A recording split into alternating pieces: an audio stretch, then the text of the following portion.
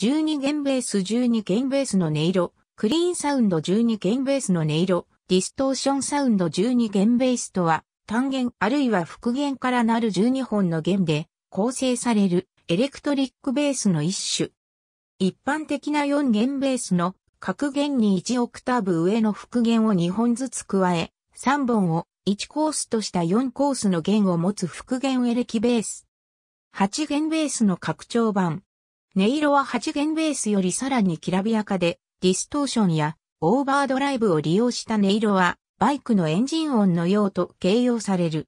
フィンガーピッキング、ピック、スラッピングのいずれによっても演奏できるが、一般に弦を押さえるのが大変で、スムーズに弾きこなすのは熟練のベーシストにとっても容易でない。ディーン、チャンドラー、キッズギターなど多数のメーカーのモデルが存在し、アメリカでは根強い人気があるが、日本国内ではほとんど販売されていない。1970年代後半にアメリカのロックバンド、チープトリックのベーシストであるトム・ピーターソンが考案し、ヘーマーのジョルダンテジグによって最初に制作された。メーカーは最初、弦の張力にネックが耐えられないことを危惧し、妥協案である高音側の2コースのみを3弦、低音側2コースを2弦とした10弦ベースを試作する。この10弦ベースの成功により、続けて当初の案であった12弦が実現された。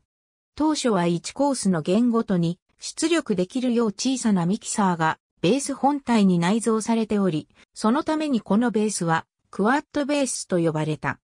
当初は弦の張力の問題で30.5インチのショートスケールのみで作られていた。1980年代にロングスケールモデルが作られるが、ネックが弦の張力に耐えられずに問題が発生したため、1989年にデュアルトラスロッドシステムが採用される。以降、ミディアムスケール及びショートスケールモデルにもデュアルトラスロッドが組み込まれる。現在のヘーマー社では、ミディアムスケールモデルの B12M とロングスケールモデルの B12A のみが製造されている。ありがとうございます。